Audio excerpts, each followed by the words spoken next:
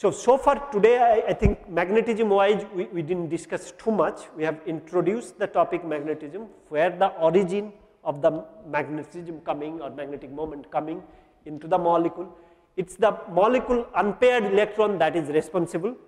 Number of unpaired electrons should technically give you the clear cut idea what is the magnetic moment going to be. There is some more to it. Of course, in reality we know that it is orbital angular momentum and the spin only values that should give you, that should combine, but you do not need to combine because it is somewhat restricted, still somewhat allowed that is where when it is allowed then you have a better value or the higher value for magnetic moment. And when that spin only plus orbital angular momentum is coming into picture, that is what we have introduced, but we will be discussing from here on in the next class. Okay. Now, we'll, we have two more uh, topic. One is this magnetism, the next one will be bioinorganic. Two classes we should be able to finish. Yeah.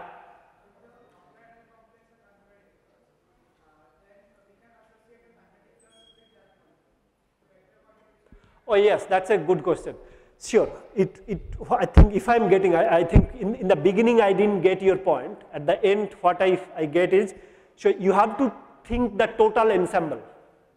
Like if of course, if a molecule, one molecule has some magnetic moment, another molecule associated with it has another magnetic moment, you have to basically assemble. Yes, at the end, at the very last, at the end we will see, it's not the individual magnetic behavior will matter, it is the total collective molecule, whatever molecule you are associated with. If it is only one type of molecule, one center, then that is of no problem. But the moment you have let us say cluster, okay, one thing is attached via another thing, through another thing, then things are more complicated. So that's what that's where I would like to take you to at the end of the magnetism. So they, they can two magnet can communicate through a mediator. One spin up, another spin up. Is it going to be magnetic moment going to be addition of these two? Can, can they talk with each other and reverse, inverse?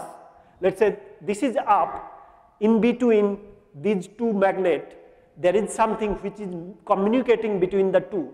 Can that communicator influence the total magnetic behavior? So there's, there is magnetic communication that is actually the basis for you know more fun in, in this area we will not discuss a lot of case, maybe one or two case we will discuss and then leave. Okay? So, I think is that the type of queries you are having or maybe I have taken you to a different direction? Some, something related. I, initially, I, I, could not hear you, but at the end, I think I, I hear, heard you correctly. Okay. Now, hopefully, the next part will not be that long. Another uh, 20 minutes or so or 30 minutes maximum. Depends on how you how you'd this is the third tutorial which is on coordination compounds. You have the printout. The question? No problem. I have that question here. Okay. All right. Tutorial, if you want to go, I have no problem, but I think it's important, little, I will try to get it done very quickly. Tutorial questions were uploaded in the Moodle and nowadays all of you are having smartphone. So, if you have Wi-Fi connection, you could have downloaded earlier.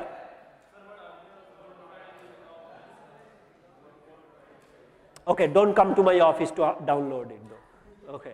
Just take a, one of you should have been able to download it. If you are really dying, I, you could have asked me, I could have sent you or give you a printout. Okay. Anyway, that doesn't matter too much, it is in there. If you like, I can give you the printout the next time. Who is going to pay for it? okay, I, I, we, can, we can give it. IIT can pay for it. Of course, you are paying IIT, right? No problem. Um, so, first question crystalline silver oxide is diamagnetic. Explain.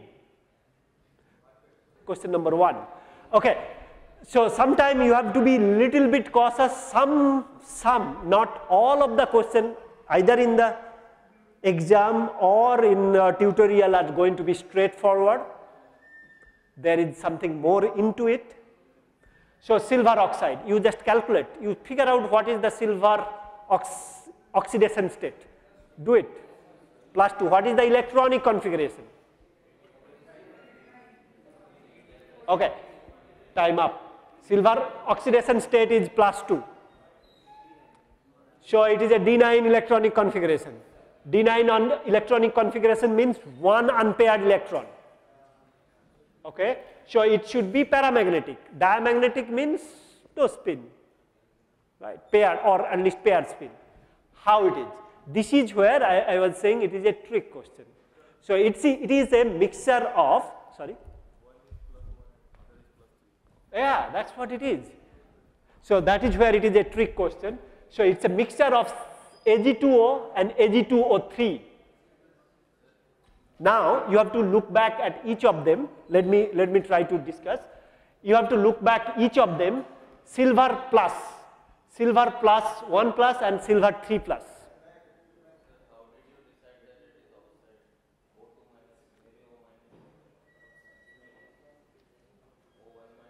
O1 minus is usually not possible. You want to, no, no, no don't worry, I, will I'll give you. I will upload, since I have made the slide, I will upload. Okay, no need to. I mean, if you bothered, if you are bothered to take the picture and take it, it's a public domain thing, why, sh why should I not upload it? Okay, uh, no need to just think little bit, silver one, please, uh, if you want to get it done quickly, either you answer quickly or I give you the answer and go. I will upload the slide. Okay. Now, silver 1 is going to be D10 configuration that is diamagnetic. This is silver 1. Two of the silver 1, one is oxide. Another over here, this is silver 3 plus. Oxide is always minus 2, 6 minus, so it has to be silver 3 plus. Silver 3 plus means what? 1 D8 configuration right. So, D8 configuration can be can be diamagnetic. Okay. D8 going to be square planar. Ah. Because silver is in high oxidation state. It's a, so this is where sometime the problem comes either the high oxidation state. So it's the combination of both. The ligand should be strong field or metal should be high oxidation state. Or the combination of higher oxidation state and strong field ligand. Then you are going to get that. Okay.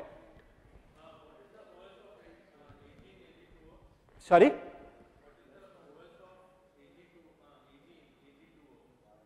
Oxidation state Ag2O plus 1 silver is in plus 1 oxide is oxide, all oxide, water, all oxide, metal, any oxide you see is minus 2. Water if you split, H plus, H plus oxide, 2 minus, right. Now that is fine. So there the geometry as you can see over here, silver is linear and silver 3 which are in gray, uh, gray in here, it is going to be square planar. Square planar oxide, oxide, oxide, oxide. Silver is in the middle. Okay. Now that is, you know, that is some, some question which is directly, I think these questions are something we have given earlier also, same questions for the tutorial. Now work out the hybridization and geometry for the following complexes using the valence bond approach. First one is, okay, the second one is, why is that? Fantastic. So nickel is in zero oxidation state. Okay. Uh, and then therefore you, you, I think this is may not be feasible. Four of them sp, sp3 hybridization, four of the four of the ligand sp3 hybridization, it is going to be tetrahedral. Nickel tetracyanide, it is going to be strong field ligand and thereby the pairing will occur by valence bond approach. We are going to discuss it by valence bond approach and you know that pairing will occur, the, elect, the hybridization will be then DSP2 that is going to be the square planar. Of course, you can explain it better by crystal field theory, but that's okay. All right. Now, I think I will skip this. This is the summary what is given here. Yes, that, that, that is where over here. OsO4 electronic configuration is going to be 4F14, 5D6, 6S2. Okay. This is what is little bit difficult over here to do it by VBT. Anyway, if you do it by ionic approach, osmium 7 plus, it is going to be 4F14. Osmium, sorry, osmium is going to be 8 6 plus 2, 8. So 4F14. Total it is going to be D3S hybridization and it is going to be tetrahedral. We don't call it D4 or anything. It is going to be D3S. 3 of D and 1 of S. D3S that is going to be tetrahedral. By covalent approach similarly you can look at and you can tell that it is going to be D3S as well. It is little bit on a borderline explanation. It's, it's, see, I mean, these are, these are little bit older approach, VBT approach. So the explanation is going to be little bit skewed at some point. But this is okay. You can kind of make sense for both of them. Okay. Now this is, most of them are clear cut tetrahedral square planar, tetrahedral square planar, linear, tetrahedral, tetrahedral. Linear is that silver ammonium where another molecule will be coordinating. Anyway, this is you should be able to find out by whatever you have done earlier. Tetrahedral case should not be a problem. Square planar are the one where you have the stronger ligand okay, if it is a D8 configuration, that is where the square planar comes into picture. But the real reason, that valence bond theory wise explanation was simply given, it is a strong field ligand and thereby it should be paired up and so on. That is what you have learned in the valence bond approach. But by crystal field approach, we have shown how things are going in terms of electron distribution, how orbitals are splitted and thereby why we are saying that D8 is going to be the square planar one. Okay. Now, while the most stable chloride of zirconium is zirconium tetrachloride, that of palladium is palladium chloride, PDCl2. Yes, it is also called relativistic effect. What is that? Anyone wants to answer? Sorry?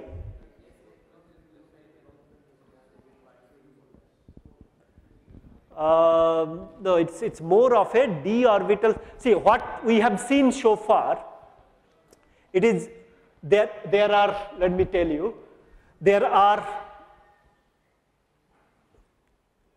these are palladium is going to be down the periodic table.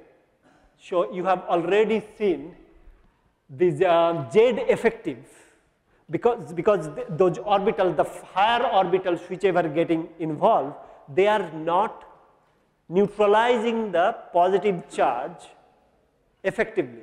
So as we were discussing in the very early class, first class or so, Z effective is going to be very, very strong.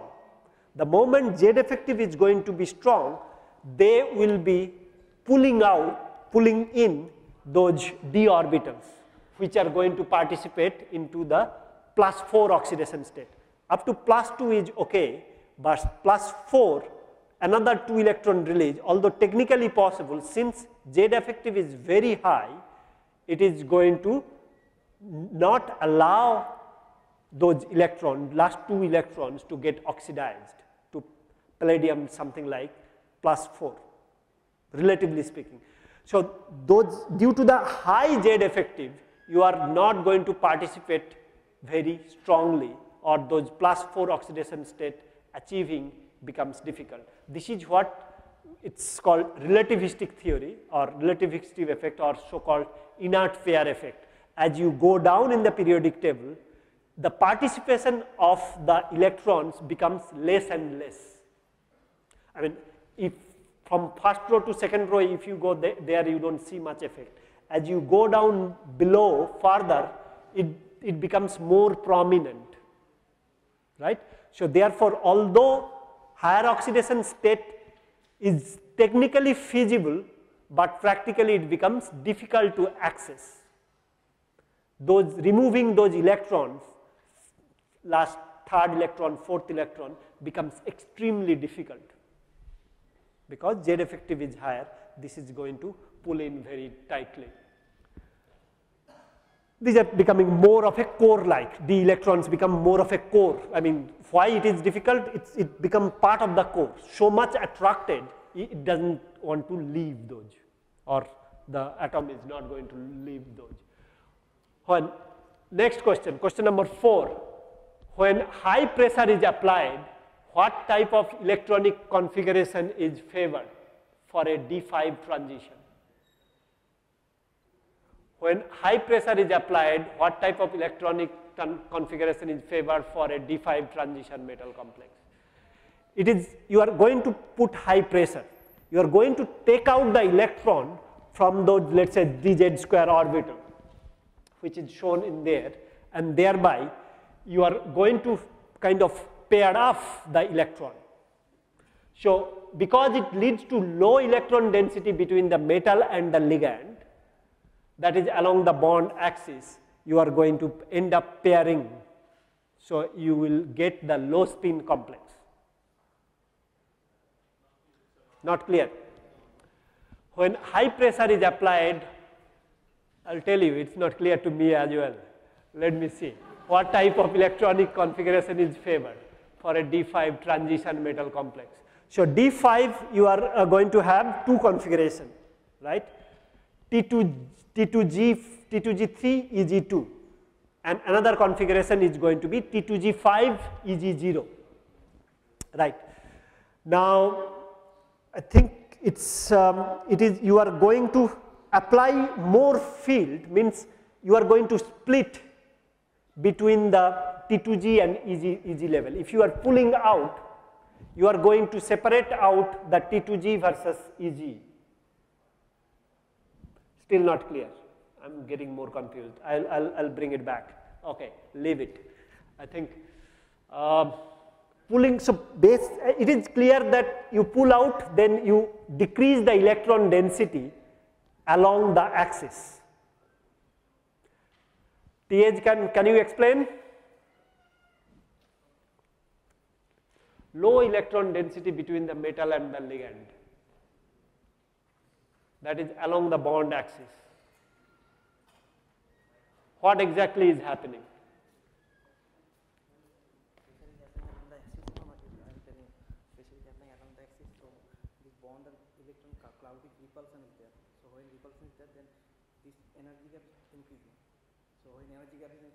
repulsion between what? Ligand and metal. Ligand and metal. Okay. When you are compressing these two, let's say. Oh, okay, okay, okay, okay. So when you are compressing, wait, wait, wait, wait. I am not clear yet. When you are compressing between these two, then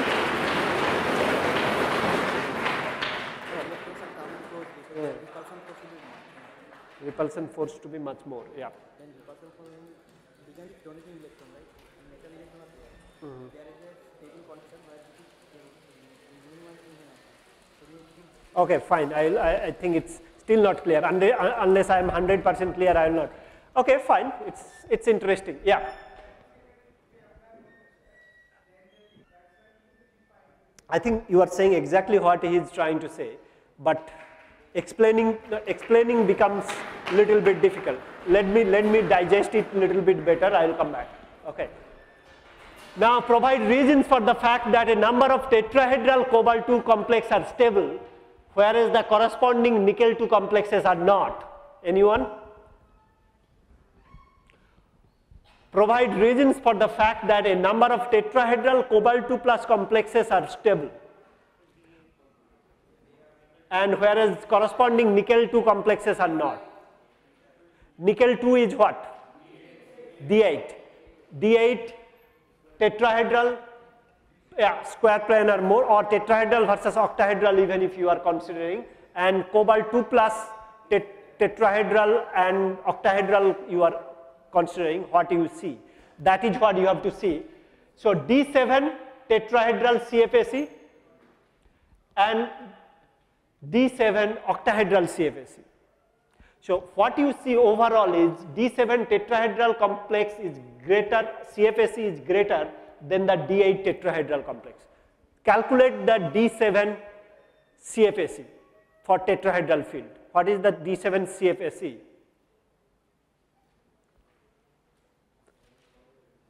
Minus 12 dt, right? D7 CFSE tetrahedral.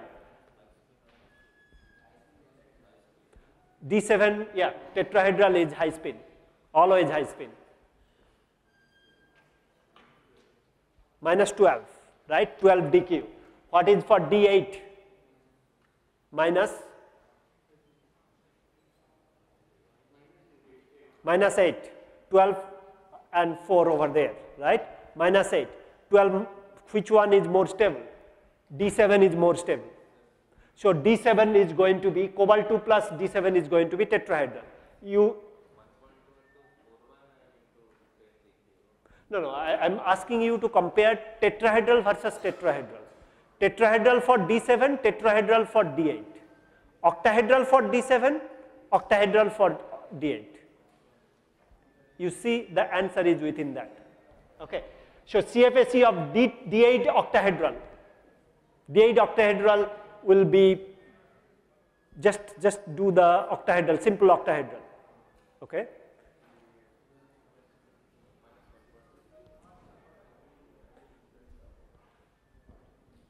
Okay, so it is going to be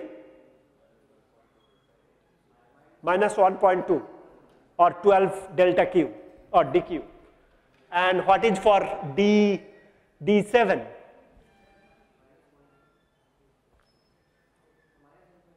Minus, no, minus 0.8 or 8 dq, D7. Calculate, that is what I was saying, maximum cases calculate the CFSE of both the geometry. D7 what is the geometry? D8 what is the geometry? What is the splitting? Oh, sorry, what is the stabilization energy? This you should be able to do it in your dream. Now the statements here is correct. CFSE for D7 is more for tetrahedral case. You have find out. And CFSE for D8 octahedral is more. CFSE of D8 octahedral complex is greater than D7 octahedral. You calculate, you will find. So for this D8, it is going to be minus 12 dq or minus 1.2 delta 0. For D7, it is going to be minus 8 dq or 0.8 delta 0 or delta octahedron, right. The fact is here, so the answer is correct. The experimental fact is also given over here, which you can corroborate. Okay, fine.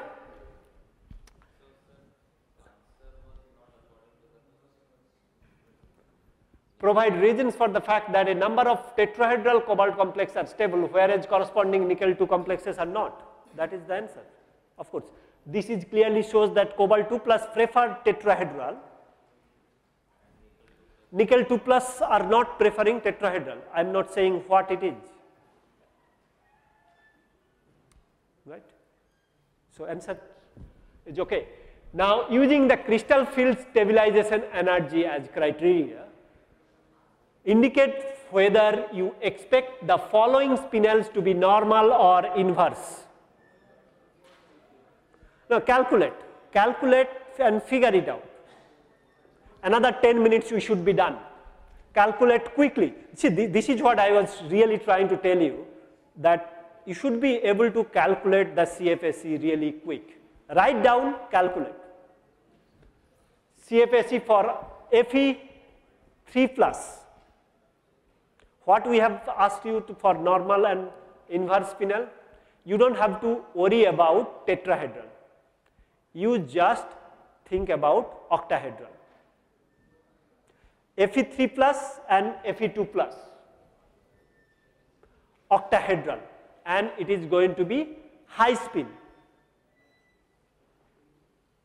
High spin octahedral case you just calculate. Should I calculate? No, I can calculate. Fe3 plus is D5 system. High spin D5 system is 0. D, T2G3 Eg2. So there is 0 CFSE high spin iron 2 plus that is D6. D6 means high spin T2G4 Eg2.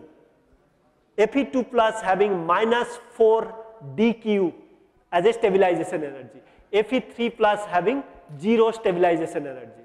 So higher oxidation state is having less stabilization. Lower oxidation state is having higher stabilization. You are going to get an inverse spinel. I guess I was discussing in the class as well. Now CO3O4 is a little tricky case because CO3 is low spin, high charge and uh, iron cobalt D6 ion is low spin because high charge even with weak ligand. This is a tricky case.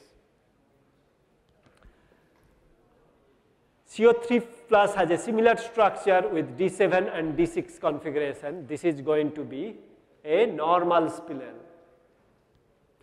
D7, D7 is what? D7, D7 is what? CO2 plus is D7, iron cobalt, D7 is CO2 plus. If you CO2 plus with oxide, it is not going to be the low spin. It is going to be the high spin. CO2 plus lower oxidation state, oxide is not that of a great ligand, so it is going to be the high spin. CO2 plus high spin D7, so it is going to be minus 8 dQ. Okay. How about CO3 plus? CO3 plus it is going to be D6. D6 it is going to be minus 4 dQ if it is high spin, 3 T2G4 Eg2, T2G4 Eg2 if it is high spin, D6. Now the problem is that is minus 4 dQ. Technically speaking, it should be inverse spinel. Higher oxidation state is having lower stability compared to the lower oxidation state. But CO3 plus, this is an exception you have to kind of remember, but uh, we will try in the exam, we will try to give not such example. Okay? CO3 plus being high oxidation state and even with the lower oxida lower, uh, you know, even if the you know, weaker field ligand such as oxide, we still are going to get this uh, normal spinel. Okay, next, few more questions left by showing the details, determine the CFSE for the following complex. These are the very simple questions. CFSE for Fe2 plus. Fe2 plus is D6. Cl is a weak field ligand. Iron is 2 plus, low oxidation state. So it's going to be the high spin. D6 high spin. T2G4 Eg2. T2G3 Eg2 cancels out, minus 4 dQ. All of you got it? Or should I wait a little bit? Okay. 30 seconds.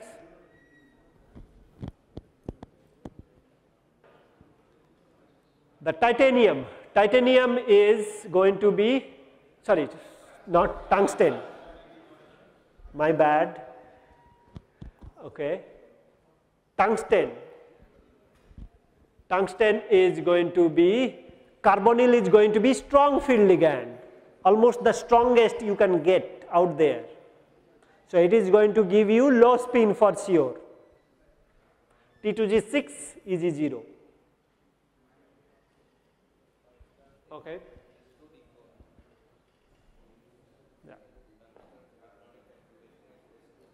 Yeah, it's usually we when we count we just count for D until D is like D6 that's why we are counting because you, that was atomic orbital you have to take into the atomic orbital into the more of a complex orbital or molecular orbital. We, we never, so far we never talk about D2S, D, you know, atomic orbital wise it is correct, D4, S2, D4. But in reality when you are doing anything with the hybridization or anything with, um, especially with uh, the complexation, you have to say it, it is a, it's a, it's a mixing, orbital mixing is happening. Yeah, you, you have to say it is a D6. So T2G6 EG0. Okay. Now explain what is meant by the term synergic bonding. This is a textbook question. Synergic bonding, I think you have studied for your exam before.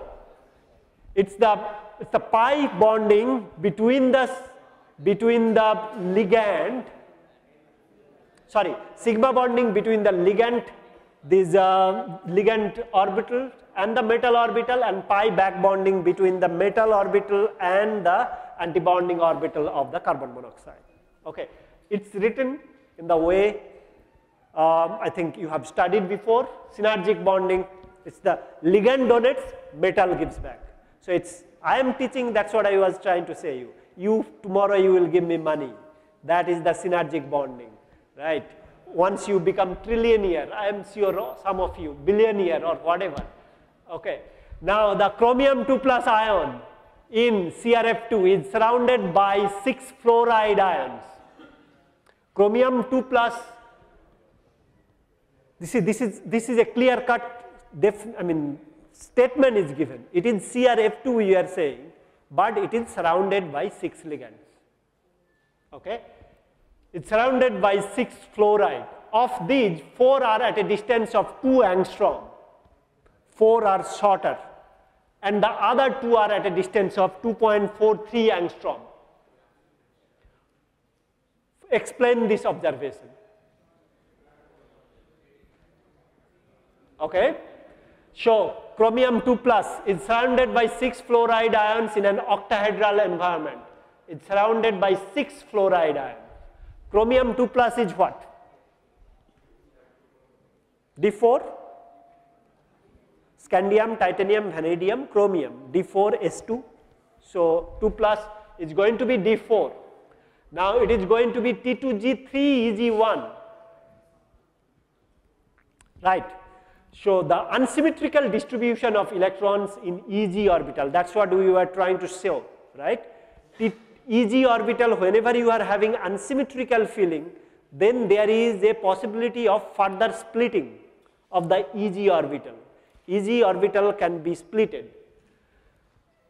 This observation suggests that EG electrons in DZ2 orbital because the two, two of them are longer. Four, four are shorter, two are longer, little bit longer. 2 longer means that directions it is getting stabilized.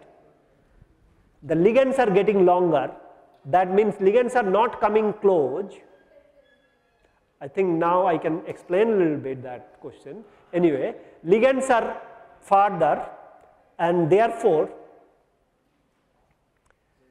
Z it is going to be Z out, right? Slightly Z out and you are going to get dz square orbital stabilized. Ligand are far at the z direction, therefore dz2 orbital is going to be stabilized, slightly lower in energy and the electron, since it is stabilized, electron is going to go there because you, it wants to achieve the stabilized state. Okay, move on. That's it.